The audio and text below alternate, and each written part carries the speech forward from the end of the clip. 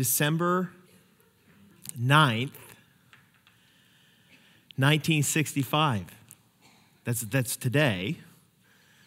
What, 53 years ago? right?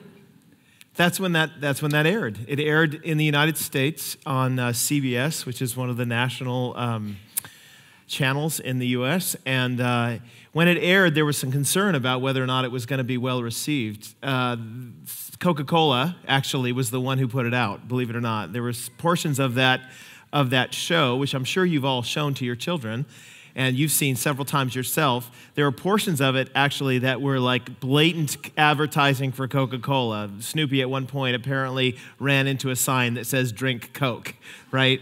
Um, but they, they edited all that out so that we don't uh, experience it that way anymore.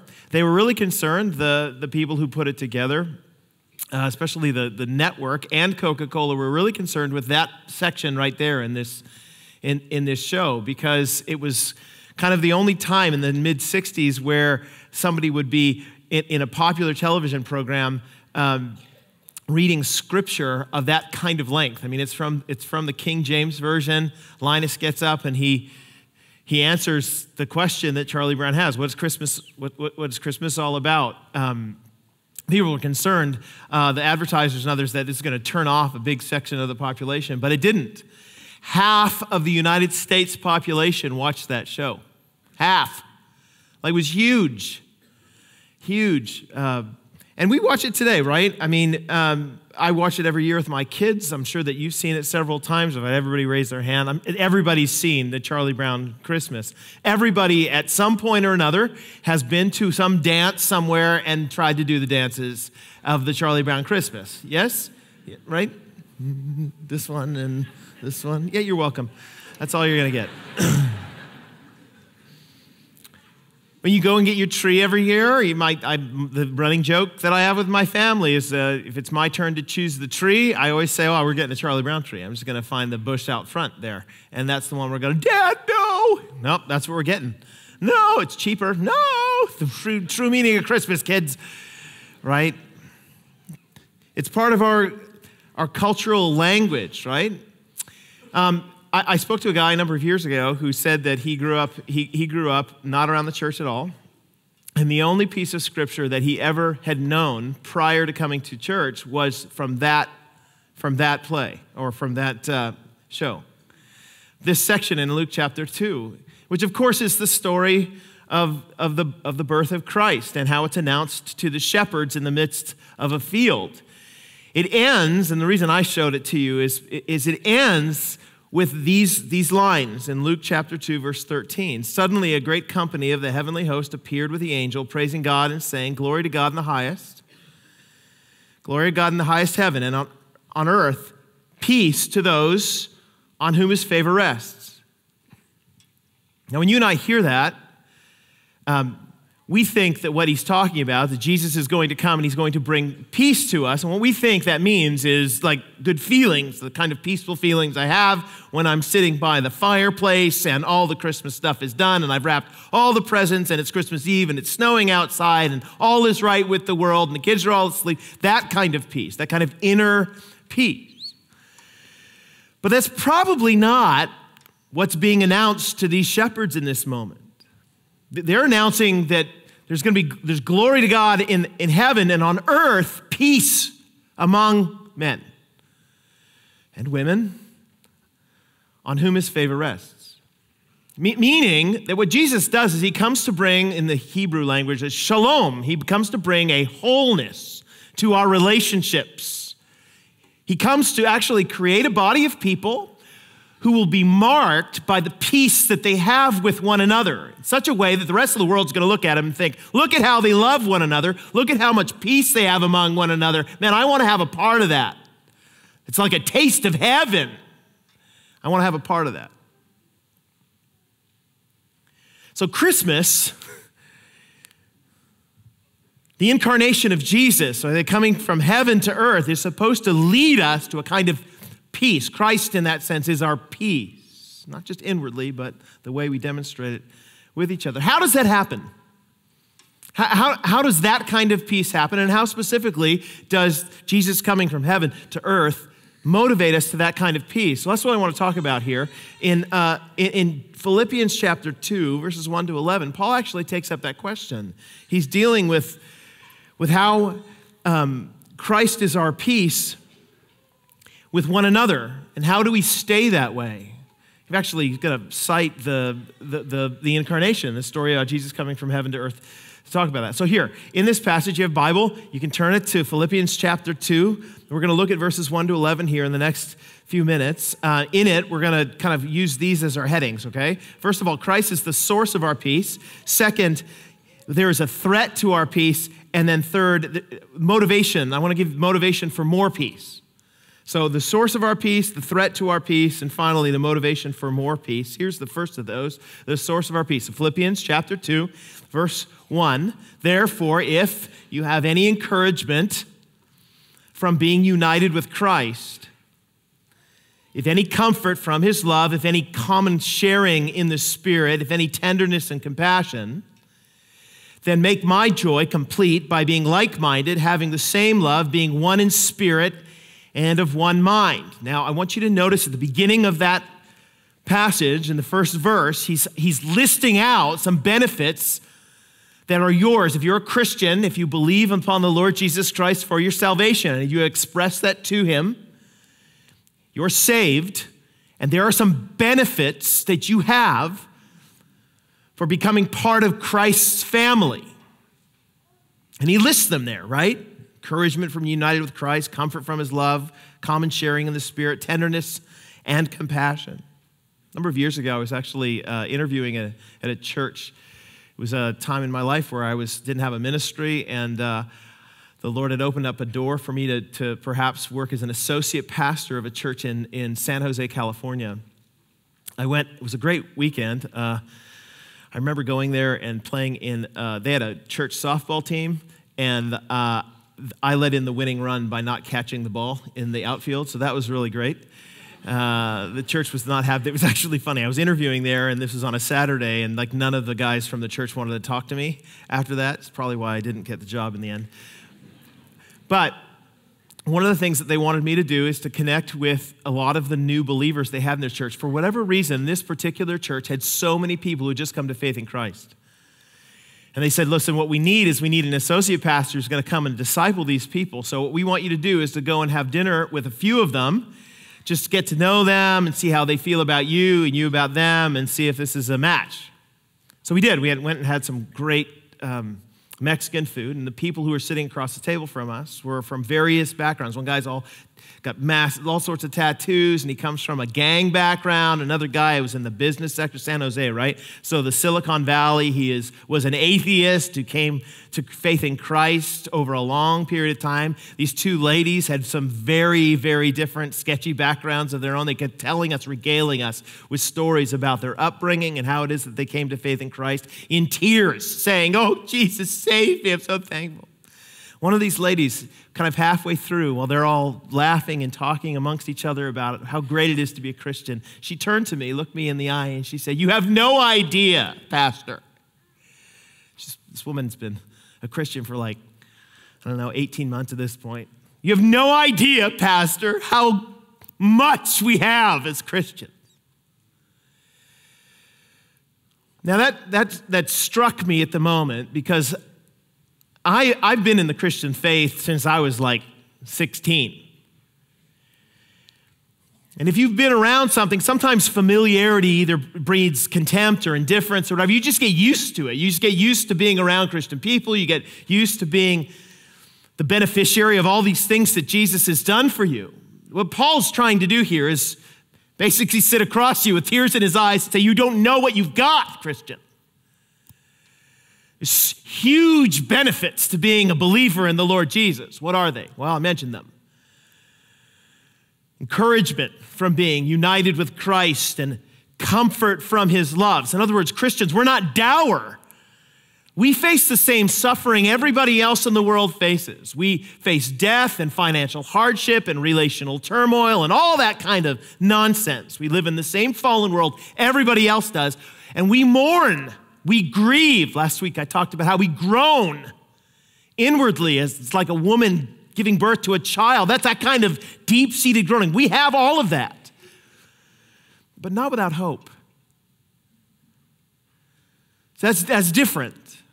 It's one thing to groan and have no hope.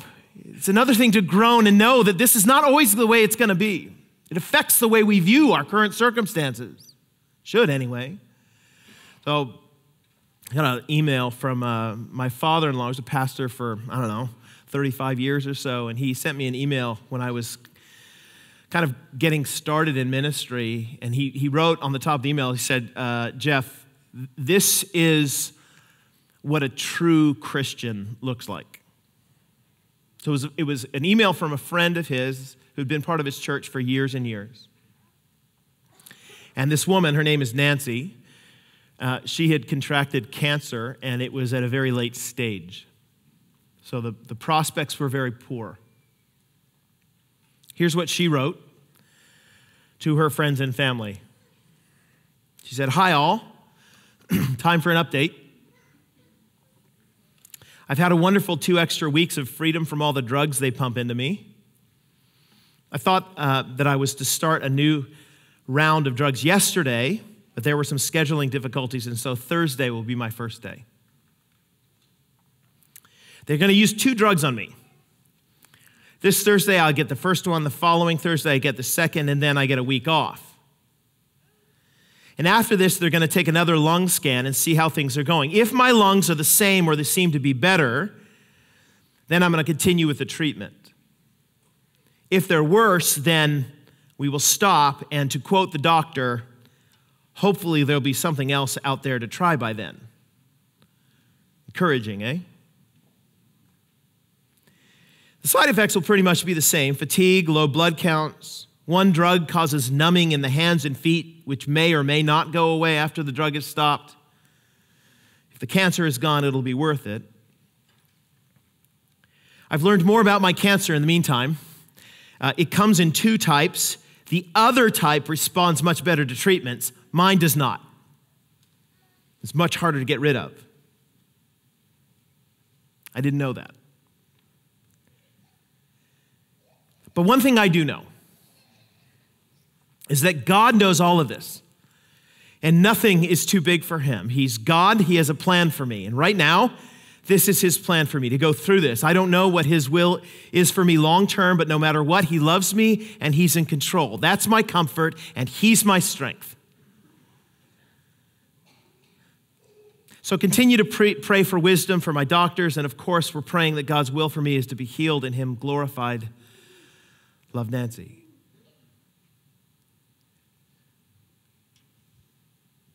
So you don't, listen, you don't get that kind of vibe from somebody who doesn't believe in Jesus, who doesn't have hope for the future. When they're facing a thing like cancer, it's like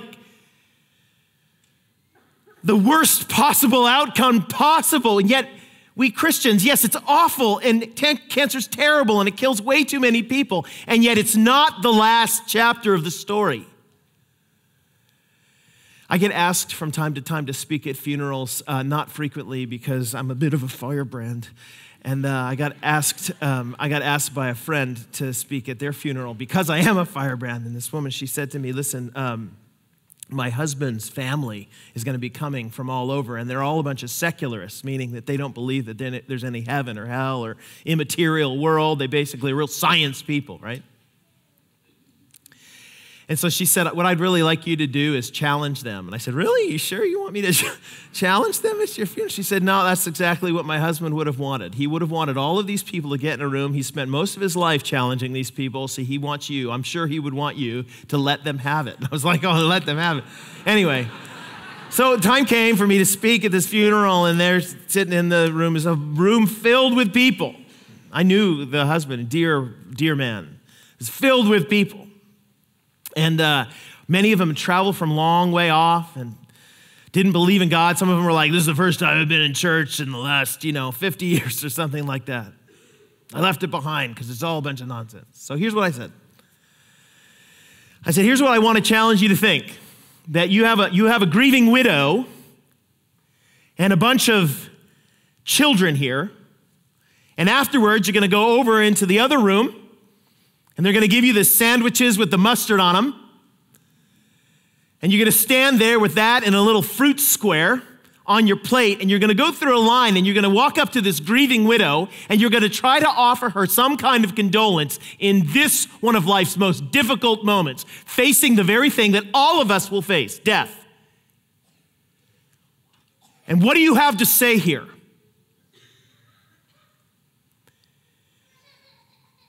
See, if you're a Christian in this moment, you can come up and you can say to her, Dear sister, I am so sorry for your loss. Your husband was a great, great man, and I am looking forward to the day that I will sit by a lake in heaven with him and talk to him for ages, and that you will see him again, and we will be reunited in Christ. You can say that. You can say this is not the last chapter of the story. But if you're a secularist, if you believe that the only thing that there is in the world is material stuff, then he is really sitting in a grave, rotting. And this is it. And what are you going to say now to her? You don't have any hope. Stop pretending that the next sports win is going to provide all that you need. It's not going to happen. See, this is why people don't ask me to do the funerals. but, Christian, you do hear what I'm saying there, don't you? Like, you have comfort from his love.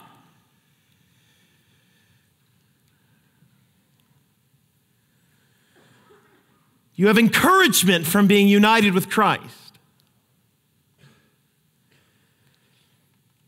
He also says here that you have common sharing in the Spirit and tenderness and compassion. You see that in verse 1 there?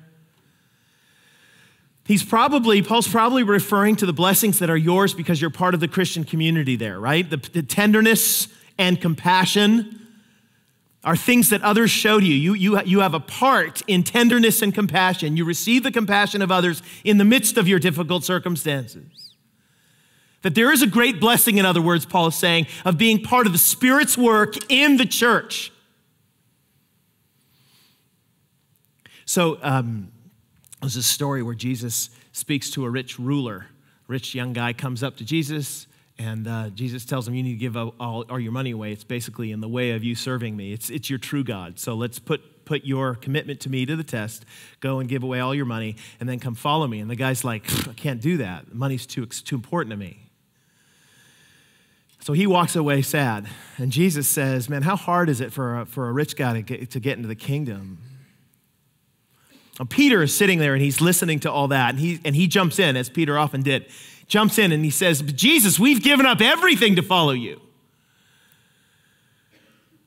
Listen to what Jesus says, Luke 18, verse 28. Peter said to him, We've left all we had to follow you. Truly I tell you, Jesus said to them, No one who has left home or wife or brothers or sisters or parents or children for the sake of the kingdom of God will fail to receive many times as much in this age and in the age to come eternal life. So there's two things that you get. You give up everything to follow Jesus, and in some cases that means your parents are going to turn their back on you if you're from a Muslim background or from some kind of Hindu background, they might actually decide you're not our child anymore. So what do you do in that situation?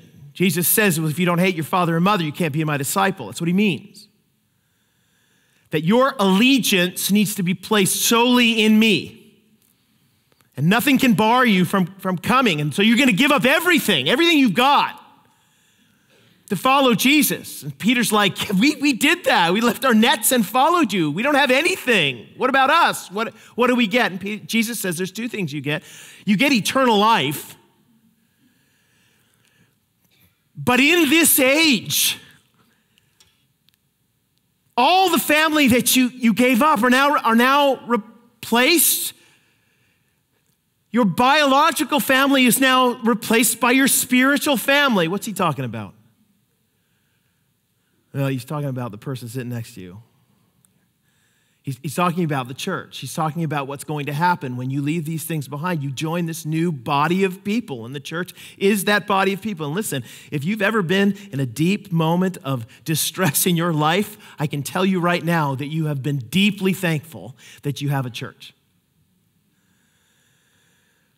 that your brothers and sisters take you under their wing and they bring you meals and they try to help you as best they can. And yes, they fail and fall down as, as often sometimes as they help, but there is a community of people around you who are, who are there to help.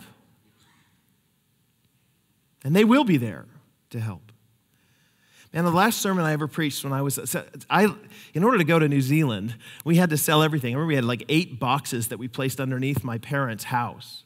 And then we left to go to New Zealand. We didn't know anybody there. Got off the plane, these, these dear people, Colleen and Hudson were their names. Uh, they took us under their wing. They let us stay in their house on the top of this hill. My son Ethan was two years old at the time, and he would run around their house terrorizing their fish they had these fish in the pond and he would try to grab them by the tail and they were like, oh, leave the fish alone, you know? they oversaw the, the airport and so this, this man Hudson who would get up, my son would get up early and I was like, this is awful. You know, leave behind your family and stuff. You're like, who's ever going to help with us? Hudson used to take my son Ethan and sit outside early in the morning and they would sit and they'd look at the planes and he'd talk to him about the planes for like an hour. It's like a surrogate grandfather. We stayed there for a number of months and then we ended up moving into our own place, but that wasn't the end of our relationship with them or with others. The other pastor in the church was an older, one of the older, an older gentleman, and he decided, he and his wife decided that they were going to be the grandparents to my kids. They'd invite them over. They'd tell my wife and I, you need to go and, on a holiday or you need to go away for a while. We're going to look after your children's love, like love on them like crazy had friends there who honestly became my children's aunties and uncles and all, all, all, these sorts of things. When I, when I left there, I remember the last day I had to fly away in the afternoon, and I told them on my last sermon, right, so I got to leave here at like 3 o'clock, and right now it's 11, so I got four hours to, to give you this message. They all kind of freaked out. I was like, this might be a while, so settle in, you know? But what I talked about to that church was how that how they had embodied that passage, how they had become sisters and brothers and aunties and uncles and mommies and daddies, both to me and to my children. Every place I've ever gone in the world and I've done ministry, the beauty of it all is I get to engage with brothers and sisters in Christ. And there is a deep joy in being part of the Christian community. Do you have any idea what you've got, Christian? Encouragement from the united with Christ, comfort from his love, tenderness and compassion, sharing in the Spirit. The point here is that there are these massive benefits to being a Christian, but Paul's point here is look, look that's, the, that's the source of our peace. We share in all this together. But there are implications to that sharing. You notice what he says in verse 2 then make my joy complete like, if you have all of this stuff, if you've been graced with all these things, then make my joy complete by being like minded, having the same love, being one in spirit and of one mind. In other words, if you've received the benefits of Christ's work, then you should share the benefits of Christ's work. Uh, imagine, I think I've used this illustration before. But imagine that you have children and you have an older one and you have a younger one, and you go to the McDonald's to get the french fries, and you know you do it. You try to hide it from people, but you go to the McDonald's to get the french fries. Don't you worry, you know. Oh, I've seen you there, right? So you're in the McDonald's drive through and you're getting the french fries because you want to give the kids a little treat. And you get to the get the french fries. You get the big one, of course, because you're like, well, I don't, I don't want to buy like two separate ones, even though that would be uh, pragmatically smart for you to do because there's two children in the back and they might fight you. So now I'm going to give the one big one cheaper. I'm more Mennonite than I am pragmatic, so I'm just going to give the fries in the back to the kids. You give it to the older one because you're freaked out that the younger one's just going to throw it out the window, you know? So here's the, you give it to the older one. The older one's sitting there with the hot fries, big, big, it's half the size of them right? And they're holding these fries. You give these and you share some with your little sister, little brother. Okay. Kids in the back, and you're driving away, and it's not very long before you hear little one say, Can I have some fries? And the older one say, No, I'm not done yet. Can I, but I'm supposed to share. No, I'm not done yet. Leave. And they start reaching, Get your hands off my fries. Now, if the older one's doing this, what do, you, what do you say to them? You need to share the fries. No, I can't. They're my fries. Then you pull over as a parent and you you get out of the car and you walk to the side. You give me those fries. and you say, Whose fries are these? Whose fries? they're yours. Right, they're my fries. To me, giving it to you is an act of grace. I handed them to you. Do you deserve fries? No. I've been with you all week. It's not been a good fry week. I gave you the fries out of grace, and now you're withholding them from your little brother, your little sister? Are you kidding me? What you receive by grace, you pass on by grace. This is what Paul's saying here. Not, not about the fries. You see his point though, like, like if you have all these blessings that you've been given to, given by God, then those blessings should form a kind of attitude in you. You should make his joy complete by being like-minded. Passing it on to, to those around you. The peace that you've received from Jesus should be the peace that you and I demonstrate with each other. Yes? It's the source of our peace, but there's a threat to it. It's a threat to our peace. Verse 3 Do nothing out of selfish ambition or vain conceit, rather, in humility, value others above yourselves, not looking to your own interests, but each of you to the interests of others. So there's a background to this historically. Uh, the, the Philippian church was a a really good church, one of Paul's favorites. Paul's in prison when he's writing this. And when you're in prison in the Roman world, you have to have people who provide for you or you'll die. They didn't give you like three meals a day and give you like yard time and stuff like that. You were in a hole in the ground. And if people didn't give you uh, blankets and provide for your food, you, you, you would die. So you needed friends who were going to give you gifts. Well, this church in Philippi had sent their, their little uh, friend uh, Epaphroditus, and they sent with him basically a financial contribution to take care of Paul while he was in prison. When Paul gets this gift, he sits down and he writes this letter. And it's, a ba- it's basically a thank you letter. Thank you for the money. He's a missionary in prison saying, Thank you for looking after me and sharing in my suffering. In, so, so they're a great church. They're like a real model church in this way. They really giving and they're facing the suffering in their community really well. Like from the outside, the community is starting to starting to look really down on them, and they're trying starting to um, oppress them, but they're remaining faithful. But Paul's like, but there's a problem. I can see it on the horizon. As good a church as you are in this present moment, and as good as things are going on, over the horizon, I see some problems surfacing. Namely, you guys are kind of fighting with each other. Apparently, Epaphroditus, when he came, and Paul said, Hey, how are things going in the church in Philippi? Epaphroditus said, Yeah, pretty good, except there's a couple of these ladies who are really getting upset with each other. Paul writes about it in Philippians 4, verse 2. I plead, he says, with Euodia and Syntyche to be of the same mind in the Lord. Yes, and I ask you, my true companion, help these women, since they have contended at my side in the cause of the gospel, along with Clement, the rest of the co workers whose names are in the book of life. So these, these two ladies who are having a go at each other, we don't know why. No idea. But Paul's basically saying, look, the church is going really well, but it's there's a threat to the church, and that is you guys are not getting along. And this little fight that you're having, these seeds of dissension could bloom into flowers of disunity that will destroy everything. And that's the way you ruin churches, guys. Is, you enthrone your opinion. You've been wronged in some way. You perceive it to be so. You enthrone your opinion, and then you, you go to war. It's not just in the church that happens. I mean, like, have you ever been a part of a sports team where you've had a little bit of a fight between a couple of the players and then the team was winning for a while and all of a sudden the players are fighting with each other on the floor. You know, it's basketball. They won't throw the ball to each other. No, I hate you. You stole my girlfriend, whatever it is, you know. And the team all of a sudden starts losing. All of us have been on this team before. Your workplace, you ever had a workplace fracture where there's somebody that you just don't get along with, or they've done something to you that has not been resolved. And so every time you walk by their desk, your stomach kind of tightens. You do whatever you can to avoid them. And the company was doing really well business wise, but now there's so much fracture within that they can't produce what it is that they were producing before because of what's going on inside. So it is with the church. There's a guy a number of years ago who wrote this uh, blog post. He called it The Anatomy of a Church Conflict. So, in other words, here's eight steps to how church conflicts happen. This guy had been a pastor for something 40 years or so. Here's what he said Number one, an offense occurs. Somebody's been wronged or perceives themselves to be wronged. Number two, a biased view of the offense is shared with friends.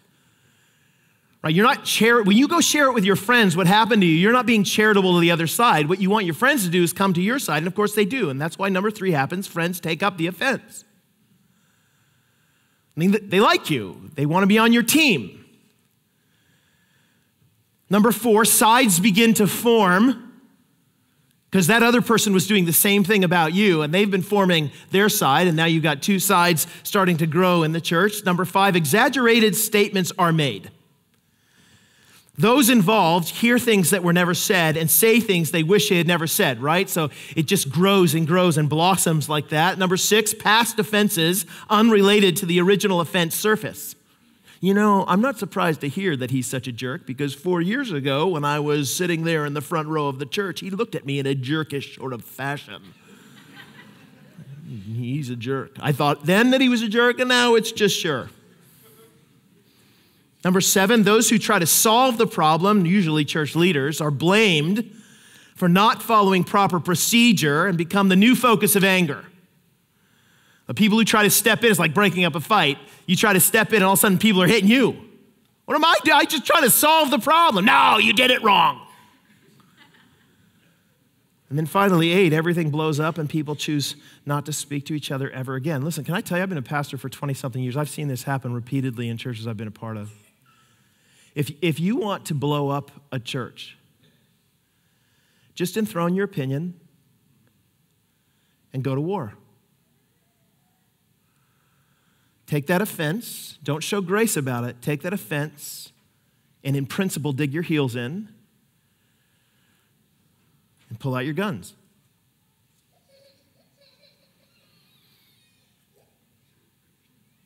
So let me give you some motivation for more peace then. Right. so, so if there's a threat, here's some motivation for how we can have more peace and not live like that. In our church, in our families, here we go. Look at verses 5 and following. In your relationships with one another, writes Paul, uh, have the same mindset as Christ Jesus. Well, okay, what, what, what kind of mindset are we talking about? Now, he's going to quote an ancient hymn here. And in it, he's going to point out two big things. So, what should your mindset be?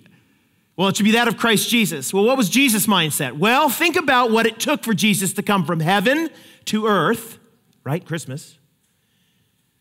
And then think about what it took for Jesus to come from go from earth to the cross, Easter. So I want you to think about Christmas and I want you to think about Easter, says Paul. First, Christmas. Your mindset should be the same as Christ Jesus, verse 6, who being in very nature God, did not consider equality with God something to be used to his own advantage. Rather, he made himself nothing by taking the very nature of a servant, being made in human likeness. He, in other words, he emptied himself, and that means to make yourself nothing. He traded, Jesus traded his unity, his experience, his everything that he had with God in heaven, in the, in the Trinity, and he came to earth, making himself nothing, so that instead of having that fellowship, he is now dumb as us. Now, now look, there have been theologians who've tried to make sense of this for a lot of years. This is it's a miracle. The incarnation is a miracle. Let me give you a couple of tries here. Uh, one from C.S. Lewis. Lewis wrote, Lying at your feet is your dog. Imagine for the moment that your dog and every dog is in deep distress. Some of us love dogs very much. If it would help all the dogs in the world to become like men, would you be willing to become a dog?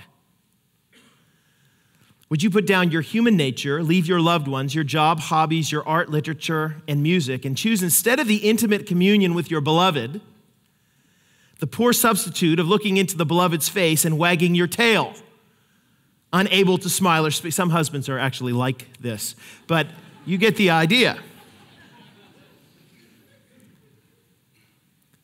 I mean, he's okay, Lewis. Uh, That makes kind of sense, but the question is is the gap that exists between human beings and dogs as great as the gap that exists between God and human beings? Uh. So here's Philip Yancey's try at it. I share this lots of Christmases. Great quote. He says, The God who roared, who could order armies and empires about like pawns on a chessboard, this God emerges in Palestine as a baby who couldn't speak or eat solid food or control his bladder, who depended on a teenager for shelter, food, and love. Once, when I was in London at a performance of Handel's Messiah, I looked toward the auditorium's royal box where the Queen and her family sat, and I caught glimpses of the more typical way rulers stride through the world. They have bodyguards, trumpet fanfare, and a flourish of bright clothes and flashing jewelry. Queen Elizabeth II had recently visited the United States, and reporters delighted in spelling out the logistics involved. Her 200 kilos of luggage included two outfits for every occasion a mourning outfit in case someone died, 40 pints of plasma, a white kid leather toilet seat covers. She brought along her own hairdresser, two valets, and a host of other attendants. A brief visit of royalty to a foreign country can easily cost $20 million. But in meek contrast, God's visit to earth took place in an animal shelter with no attendants present and nowhere to lay the newborn kid but a feed trough. Indeed, the event that divided history and even our calendars into two parts may have had more animal than human witnesses. An animal, a mule, could have stepped on him. On God. A mule could have stepped on God. See, Paul's point here is this look, you, you just, when you look at the Christmas, you, it reeks of humility, yes? That's a long way to go from heaven to earth. But he didn't stop there. The humility of Jesus, coming that distance to restore a relationship, didn't stop just by becoming a baby. He ended up going to a cross, and that's what he says in verse 8. And being found in appearance as a man, he humbled himself by being, becoming obedient to death, even death on a cross. Therefore, God exalted him to the highest place and gave him the name that is above every name that at the name of Jesus, every knee should bow in heaven and on earth and under the earth, and every tongue acknowledge that Jesus Christ is Lord to the glory of God the Father. And you guys, the, the crucifixion process among the Romans was crazy violent. The whole thing was done usually to shame dissidents. So if you had an issue against the Roman government and you voiced it publicly and maybe even took up arms against them, the way that they would respond would by, be by crucifying you publicly. And the reason they did it publicly is so that everybody else could see what they do to dissidents. So if you have any ideas in your head about, I'm going to be a rebel against the government, hey guys, this is what Rome does to rebels. Well, what is it that they do? Well, the, the process of crucifixion begins with a scourging. They call it the flagellum. They take this whip that has nine tails on it, and at the end of each one of the tails, they put little shards of bone and rock, real sharp things, and, and, and one of the guards will whip the body, put the body, of the person up against a pole, and they will whip the body. And the idea was that these nine lashes come around the side and they stick to the body and then you yank it off so that the, so that the flesh of the body comes, comes off. You do this several times. Some people die at this particular point because of the trauma, but you didn't want the people to die. You wanted them to stay alive so that you could put them on the cross publicly and humiliate them. So then you give the, the you know, the cross has a, has, a, has a vertical beam and a horizontal beam. You give that vertical beam to the person, they have to carry it to the place of their own execution, usually on a main road somewhere. The idea here was that they would have to walk through crowds of people who would jeer at them in front of the victim carrying the cross. In front of them was usually a person who was announcing their crime. So, in Jesus' case, King of the Jews, a dissident to Rome,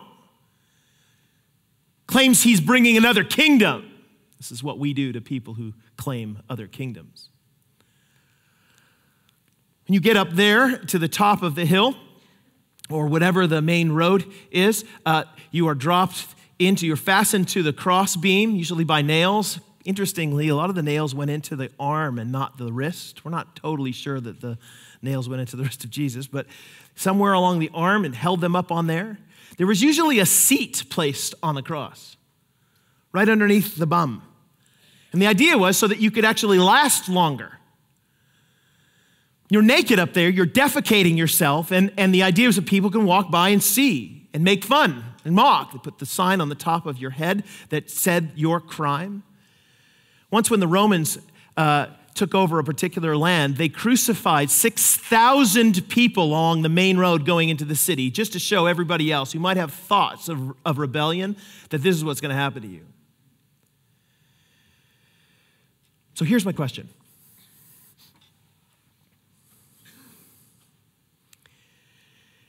If you made the mouths of men and women,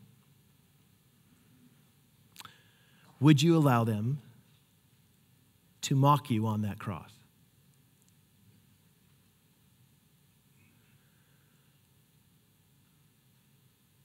If you formed, if you formed their hands, would you allow those hands to nail you to that cross? If with one thought, you could bring the entire, entire army of heaven upon the moment. You could disband the molecules of the body of those who are persecuting you. Would you have endured that suffering? So here's the point. You do see how far Jesus came in order to restore a relationship that was fractured, yes? How far are you and I willing to go then? Th- those who've been graced, who've received the fry, how far are you willing to go then to restore?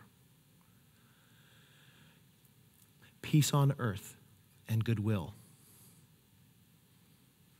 among those on whom his favor rests. Let me pray. Father, I'm thankful for your grace and for your word. I ask that you would help us to see that this time is not, this time of the year is, is certainly about the peace that you bring to our hearts, but more than that, it's about the peace you bring to our lives. So, God, I pray that you would help us, as far as it depends on us, to live at peace with all people. Some of us in the room, I know, Lord, uh, have issues with others, and uh, they have not gone the distance yet. And I pray, Father, that you, by the power of your Spirit, would press them to do that very thing for your glory and for our ultimate good as your church. In Jesus' name we pray. Amen.